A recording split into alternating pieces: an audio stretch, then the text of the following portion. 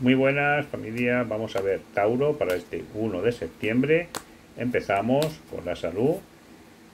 Bueno, en la salud mmm, puede haber pequeños pinchazos, pequeñas molestias puntuales, picaduras.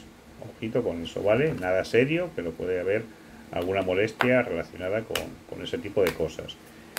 En cuanto al dinero, lo económico, lo laboral, bueno, figuras en muchas conversaciones en tu entorno económico, especialmente si trabajas para otra persona, se está hablando mucho de ti, bastante bien, viendo posibilidades de promocionarte, de ponerte ahí en un buen puesto, o sea que interesante. Si trabajas para ti, mm, también se está comentando mucho las cosas que haces, tu negocio, las ideas que tienes, ¿vale? Interesante. El boca a boca está funcionando. En cuanto al amor, el amor, ojito, mm, en quien confías, pues te puede salir rana, ¿vale? Especialmente si son personas que no conoces, con las que tienes nuevas relaciones. No te fíes mucho, ten bastante abierto el ojo.